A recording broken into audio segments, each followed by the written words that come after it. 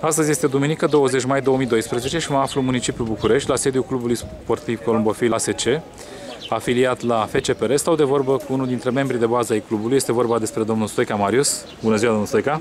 La îmbarcarea porumbeilor, da? Da. Unde aveți mâine? Ce etapă? Știu că e prima în Republica Moldova, parcă, nu? La Basarabeanca, din câte știu. Cât? 300? 300... 10 km, parcă. Deci ar fi prima etapă de demifond? Da, de demi, viteză. Viteză demifond. Câți porumbei ați angajat? 120 de porumbei. Oh, deci numeric frumos. Zburați văduvia naturalul? Văduvia nu îmi permite timpul. Am înțeles. Deci tot numai la natural, nu? Cu tot? Din anul trecut câți porumbei aveți? Destul de, de mult. Sunt mulți, nu? Ca și, ca și ieri. La mine porumbei mai mult în tineret. Eu am uh, zburat uh, acum 2 ani pui peste graniță la, la fond și am pierdut foarte mult. Și acum Da. încerc să-i Ați fost obligat să începeți... Da, da, da. Eu am fost o perioadă care m-am retras, am început de 4 ani și a, acum încerc să îi dezvolt înapoi, să ajung la palmaresul care a avut uh, tatăl meu. Știu că în decursul anilor ați avut niște rezultate bune și o să vă rog acum să spuneți... Au fost multe rezultate bune în trecut. Eu l-am ajutat pe tatăl meu și în perioada anilor am avut rezultate foarte bune, care au fost și în Vașovia, a avut, a avut și, La ce categorii, special domnul Stoica? și la viteză, și la demifond, și la fond. Deci au fost, au avut păsări și tatăl meu acum fiind mai bătrân, nu mai poate să ocupe atât de bine de ei și mă ocup eu. Mă ocup eu. Aha. Uh, Anul trecut uh, am avut uh, la tineret uh, uh, două cupe cu același porumbel, la viteză și la demifond. Acum de ani am avut uh, la fond, tot așa, cu pui de un an. Sunteți un crescător mai răbdător cu porumbei sau mai dur Sunt așa? uh, foarte rădător, vorbesc cu ei. Îi, Cam cât timp, câți ani le acordați șanse până să confirme, de exemplu? Deci eu le acord șansă cât se poate mai mult. Pentru că pasărea anul ăsta poate să-ți dea un rezultat, la anul poate să-ți dea altul. Pentru că nu poți să îl forțezi, haide, la, hai, hai să-l dăm deoparte. Nu se poate așa ceva. Se poate să tai din frații, să-i dai deoparte și să scape vreun pui sau să tai părinții și să rămâi fără ei. Și până la urmă alergi să iei înapoi. E foarte greu să-i faci. Da. Porumbei trebuie să-i lucrezi foarte mult.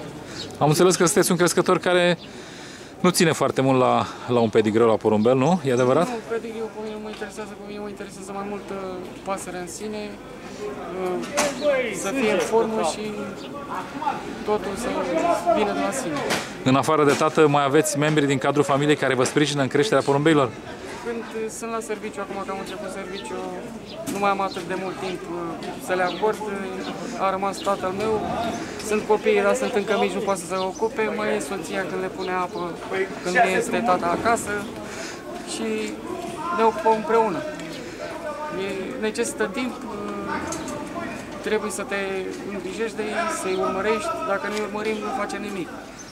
Exact. De la 2012 ce așteptări aveți, domnul Stoica? Deci, de la 2012 sper să fie cât mai, mai bun. Sperăm să ne lase ploile în pace și să mergem mai departe. Dar uh, Toamna cu puii zborurilor cu puii, ce, ce importanță le acordați? uh, Zburați puii de la... pui zbor, deci, cap la coadă? De la cap la coadă. Deci toți pui zbor pentru că trebuie selecționați. Că Și cei care, de exemplu, nu obțin toamna rezultate foarte bune, îi eliminați sau nu- le acordați și le șansa acord, uh, și următoare? Următorii ani. Deci nu următorul an, următorii ani. Următorii ani, nu? Nu se vede într-un singur an. Porumbei noastre de unde provin în mare, în decursul anilor, de exemplu? De unde viați Sunt porumbei din propria care i-a strâns tatăl propria meu. crescătorie, nu? Da, tatăl meu i-a strâns de la Crețulescu, de unde a strâns din tot. Da. Așa. Am mai luat acum, acum 3 ani, în 2009, am mai luat eh, de la Natural. Am, am mai luat niște nemți, mi-a adus un prieten niște nemți, tot așa, cadou. Și am lucrat cu ce a avut tatăl meu și... Rezultatele au fost bune, nu? rezultate, Da. Vă dați seama că de 4 ani am început.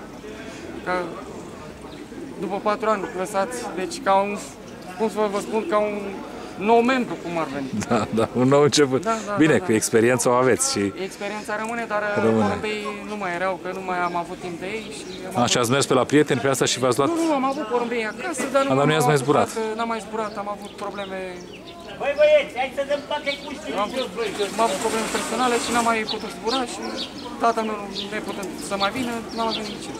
Eu vă mulțumesc foarte mult, domnul Stoica, Și eu vă mulțumesc. pentru amabilitate și vă doresc în continuare mult succes. Cu stimă toate cele bune.